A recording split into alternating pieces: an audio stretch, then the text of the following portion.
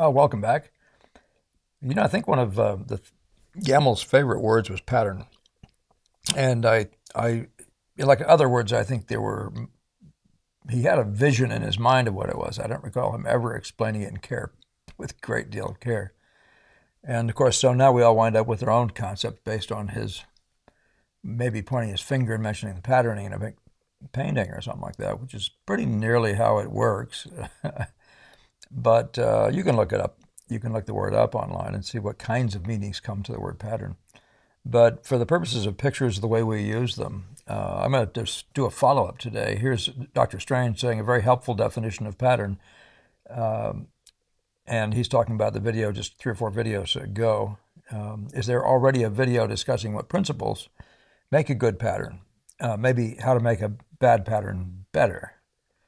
So, you know, I talk about this in the composition class, and I haven't. Uh, I thought for sure I'd done this, and I know we talked about silhouettes and we included Greek pattern, Greek vases there, but this is a particular kind of a question, which is uh, sort of a, you know, it's in the, more of the class of a how-to than what is. So, I'll try to do my best uh, to at least tell you about how we think about it, uh, how I was taught to think about it, and how I make use of it now. So I'm just going to use the Greek vases, though, nothing but that. And um, I'm going to get out my Mr. Laser here. All right, we have a laser. Do have a laser. Now let's see if I can get the first image. There we go. All right, now I apologize right now for the quality of these images. They, I looked online and found very few that were very focused. So you're going to have to look at these casually anyway. I say with a you know sort of loosey goosey uh, mindset, because um, you want don't want to be looking really tightly at them necessarily. You can. I do recommend the um, I think they're Boardman's uh, books. There's two books on the uh, Greek vases one of them particularly specializing in these red figure uh, ones, which is the ones they're the ones I find uh, uh, the most the most interesting, actually the most skillful. And it was about those that Ang uh, uh, was, you know, he was talking about those when he when he sit, told people to pay attention to the Greek vase. And um, so um, we're just going to review them just a little bit. Now, remember the two things in composition are always, first of all, um, uh, unity, and secondly, interest. You know, are you making it interesting? So the the very simple uh, thing that's happening here, you just for the short term ignore the inside patterning is really just the big flat masses, right? The cutouts. Uh, that's the way we think of them. The, the sort of combined shapes they wind up making. If you look at the left one, you see my hot laser is going here. If you look at this one, this is this is a very dominating total pattern here, right? Uh, it's more um, so. So I say it's a so it's a dark vase with a massively big pattern here, all held together as one piece, pretty much. All the pieces seem to be rather attached. This maybe being the exception over here on the right. And uh, but what you can see though then is that you have a bunch of uh, both dark patterns and light patterns to talk about, and there there really is no such significance as a negative shape. They're just pattern, and patterning is the dark pattern. There's a light pattern. Okay, and um, again, this is this is the way I think about it, the way I use it. So I'm addressing first of all, I, I mentioned there's this massive unity of one big pattern. Well Look at the incredible amount of interest, though, around that pattern, right? The little, like the little legs coming off the side over here, and another scrawny area of interest, skinny little things over here. So there are areas, you'll notice there are areas of interest. There are areas of greater interest in a pattern, uh, at least a pattern in a painting. Now, if you do a wall pattern, you're typically talking about, while there may be an area of dominant interest in a little pattern thing, the second time you use it, you're using the same exact thing again. Usually they're in predictable rows. It's not always true, but um, I differentiate painting because it basically has one. It's one total pattern, right? Um, but the patterning process is that of of uh, relating the darks to the darks and the lights to the lights. So we can be that simple about it. Okay. Um, so you, I mentioned areas of dominant interest. You see this area here is very interesting. This area is very interesting right here. And this will be the area, shall we say, of the third level of interest. And so that's the sort of thing you might be aware of. But be aware also of, so in terms of the variety of a picture, we want all the spots, all the dark spots, to be different in size, different in shape. You want them to have different gestures. And you want them, but then, okay, all different, each varied, but you want them to relate to each other, right? So there's a certain sort of a curviness here that nicely relates, shall we say, to this area up here. Um, by the way, we're talking about good patterns. We're talking about expressive patterns.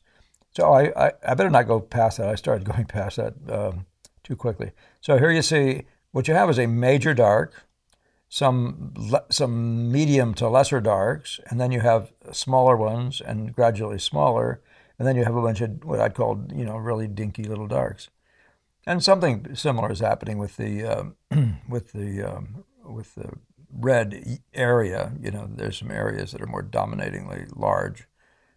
Um, like you could think of the area around the feet, down below the feet, as not being as big. Um, you know, I would assume that this picture ought to have a flat floor. I can't prove that it should, so just ignore this if the picture looks like it needs rotation. But, okay. So let's see what else we can say about this. So a pattern is, is varied, so you're not trying to, you don't want to make it predictable. You want these shapes not to be accidental. You want them to be, you know, vigorously related to each other. You want to be different from each other, and you want them to interplay with each other. That's good patterning, okay? Now, on top of that, you expect the shapes in this kind of patterning to, when they form up and make a silhouette, for example, to express something. So this area is very clearly a hand doing something. These are clearly the feet, you know. So to the extent that a pattern has has a role to play, it, it part of what pattern does well is what silhouettes do well. They actually describe by outline uh, a real unit, a unit of, of, of nature. But they also, of course, describe shapes. And there's so much shape interest. I'm looking at the curves now here, back of leg here, back of this curve of hand. And what if you're really doing good designing, these things will be just like in the rest of design and painting. They will be interrelated. They will be playing off each other. So this feels quite interesting in relation to this and to this. So you expect the curves to relate to the curves. You expect things that are like doing similar things to relate Degas does this all the time in his dancers, uh, making the feet each one do a different thing, and the whole set of them doing something very interesting. Uh, but that could be said of anything like a straight line. That could be said of the curve sets. Uh, it could be said of any other kind of unit. It, it, um, so, yeah, interrelatedness though, variety, interrelatedness. And then let's talk about what happens around when you go around the outside of a shape. You see that there's interest there. There's actual drawing there that describes the form, but it also just makes it more interesting. Uh, you can see this one comes around, does a blippy thing here, a belt. There's that, that. There's a lot of stuff. So some of it's information, but it's also just interesting. It's there's nice timing in the dips and the blobs, and typically in cloth you have some choices there. For example, he could have had this cloth come out here and made more of a dip if he chose to rather than running straight down here, more or less straight down there. So yeah, let's, know, maybe I'll pick up more of the same, but you're going to see that in all these pictures. You're going to see the, the um, in the next picture here, which is unfortunately fuzzed. You expect the big impression to be rather fascinating, right? Just typical of all design. So whenever you have a pattern in a picture, uh, you you expect it in itself, if it separates unto itself, you expect it to be interesting. And interesting again has that everything to do with variety. Uh, the going together is not the interesting part. That's that's that's how it interplays. But the interesting part is, oh, let's say for example, if you have a grand oval here, I think that uh, that's a different kind of shape. Never mind. How about we just say something like this? Here's a great shape with a dark in the middle, and here's another big shape with two darks in the middle. So there's a they're both that's done differently, but there's an interrelatedness about them, and they're both interesting. This appears to be a musical instrument, perhaps over here on this left one. Uh, again, um, if you look at the set, you'll see they're almost humorous. The set of the straight lines or the stick-like lines you see there's clearly four of them, the two legs over here, and this one over here, and this one, and the big long one up the middle, which is the spear. And you can see that they um, that they make a, a jo- rather a jocular, a rather a jaunty little set, uh, fun to look at, right? Uh, again, when you're talking about the spots, you're looking, you're going to see that each of the dark spots. This is basically this is dominated by lights. The dark spots are um, you see the greater one, or maybe that's the second one. Maybe this is the greater one, depending on how you want to think about it. Yeah, probably you'd say that. And then this one, and then maybe down to this mass here, and then down to this and this. Uh, so I'm including this this this whole area around this left guy uh, as the great as part of the great mass. Um, so in making it interesting, timing is important. You know, you have a mass here, then you have a dark mass, then you have a skinnier one here, then you have an irregular one here. They seem to be trucking along. There seems to be a nice rhythm between them. These are all the th- sorts of things you can do to make your patterns better. Just be aware of what dark spots or what that flat unit is doing in relation to the other set of flat units and give me some fun, give me some entertainment. I'm looking at how these down here are relating across the board to this guy way over here. And this whole thing is a run in itself, and then it trucks across here. But that's patterning and it's entertaining. Keep remembering your job is to be entertaining. Um, um, so we're just seeing more of the same. One of the things you'll notice about these pictures, I'm going to take the one on the right as an example, is that they're relatively simple. They're simple enough, not so cluttered that you can't make out what's going on, but not so simple that they're boring to look at and um, you know and just maybe placed well. Uh, but you know because these are complete pictures into themselves, we're talking about place good placement. When you're talking about patterning in pictures, it may or may not be uh, a thing unto itself. It could be like the set of the darks could be more dominatingly to the left, while the set of the lights could be more dominatingly to the right, and they could be not balanced across the center. These guys tend to be balanced across the center. Again, you see with the simplicity of the great shapes, and yet they're nice interrelatedness. So here's the greatest one, maybe, and then this one. And you can talk about maybe that is the third, and this is a breakup of two more and plus whatever. Uh, it doesn't matter. What matters is how you, how they, how beautifully they interplay with each other. Uh, how they just feel good together. I mean, this is just an aesthetic problem. A pattern is just like everything else. We're just trying to find some magic there and we do mean things like the word beauty. We, we mean we mean uh, uh, rightness. You know, beauty is a fascinating word. There's an element of rightness for it to be beautiful. Uh, but harmonious is another one of those excellent words. You know, so if you have a pattern there, you want the pattern stuff looking together. That just means they harmonize. That means they hang together. Um, all right. Uh, I don't know how much to say about the other one. Um, the um, the use of internal detail on that one makes it slightly less of a pure pattern problem, although it's everything's being done with like these are hard, thicker stripes. These are thinner stripes on this individual. Uh, so there, you know, there are those kinds of sets. Uh, and, and, if you want to call them those three types, there's three of them. You can count these guys as being of that set, one of these. You see how those are sort of repetitious pattern sets? And I find that interesting. I find that really interesting. And if you, again, if, if a person who really has an aesthetic eye, an artist, has been there, there'll be something interesting and related in a comforted, you know, very comfortable rightness kind of a way. Uh, again, they'll be harmonized, is another word for it. So, yeah. Yeah. Um, uh, following the same principles. and then lastly, I think, is this one. but you can see what I'm talking about now. You take simple patterns, you have variety by the size of the masses, the dark mass. They're all different in size, they're all different in gesture, they're all different in in uh, shape, and yet they look fascinatingly good together, right? And that's what you expect your patterning to do. So um, I guess to maybe rerun it, we're talking about that. We're talking about uh, interrelatedness of like things. So the straight line things, the straight line things, you expect them to actually look good together.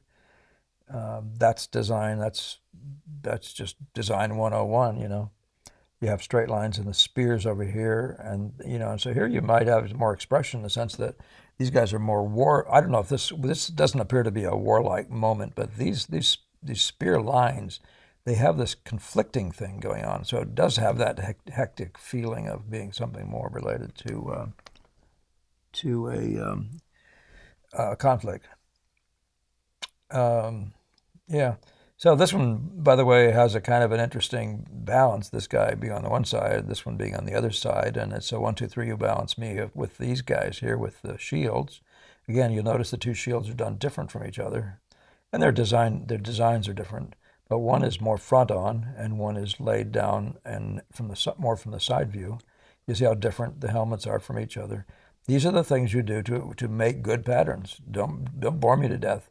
So make them different but make them harmonize. it's really the larger conversation. Uh, I'm going to look and see if there's anything else I I should uh, talk about. I think that was the last of them, yeah. And I'm going to come back, I think, in a second. But uh, let me just talk to you about the kinds of things I talk about typically in a, in a, in a class. So, is that the, so the uh, interrelatedness of likes we talked about. Uh, like the spears and so on, um, in relationships of curves, uh, uh, you know, visual type things, right? And uh, sometimes, like I showed you, the busy, the three busy things, the interrelationship of things, okay? Notice how the groupings are balanced across the center. Well, in our case, you're going to expect the grouping to feel good to the rectangle, no matter what it is, whatever the pattern you're making is. Once you see it, and the harder part of painting probably is actually to recognize these patterns for what they are, so you can make the best work out of them. Uh, so then again, the variety of the uh, of the dark units in relation to each other, or the light units in relation to each other, variety in every way, size variety, uh, shape variety, gesture variety, you know, and again, uh, and even busyness variety. Some shapes are more interesting than others, and uh, busy, busy. I meant to say having more bumps or whatever, and. Um, uh, yeah, and yet how they hang together. Notice that they harmonize. Just keep watching the whole, and your job is to keep after them until they do. Um, notice how you know when, with how much these guys contribute. If they can contribute more to the story, that is to say, to the realism, and I mean that really just meaning the the readability of the thing as an object to the extent that that's important, because it is important. It's not like we just say there's no such thing as the subject. as, the, and objects actually do matter. That matters that they're, they're well drawn, that for that matter, it's just. But in the case, one of the beautiful things about this Greek vase thing is that sort of lost and found thing. That it uh, that it, it implies uh, when you don't look close at it, especially there's this whole series of things that are just lost and found. So we're really not talking about objects. We're talking about that, el- that aspect of an object that tells us something. And because we don't get every little line on the object, and I'm talking about pure patterning now, because we don't get every little line on the object, we have to make the patterning talk for us. Okay, so when there's lost areas or a pattern, two or three figures turn into one big abstraction, well, you take full advantage wherever the what happens. Make sure it talks. Make sure it talks the language of the uh, of the of the object description. And uh, so, um, and one thing I didn't mention was how each area needs to be important. It needs to be interesting in itself in some way. So I often refer to this as the scenes in a movie or something like that. And uh, what, what you expect is for each unit of uh, each dark object, for example, to be actually interesting in some level, fascinating on some level. You don't want that to bore me any more than you want the whole to bore me. And um, so, again, you're going to want to have be aware of the variety within that shape and whether it's just amusing as a pure abstraction. Um, yeah, and then of course you're going to notice the, the major masses that not only that they have gestures and they're fun, and they're alive, but how the gestures feel to each other because they'll be tending to certain kinds of movements.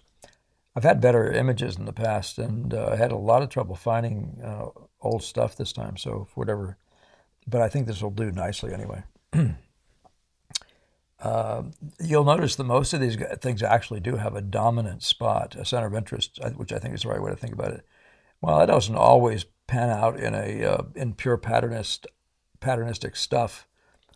Uh, but I'm going to be talking about um, some stuff in the next video having to do with that will address some of this as well. Uh, but be aware, um, be aware of the idea of an area of central interest.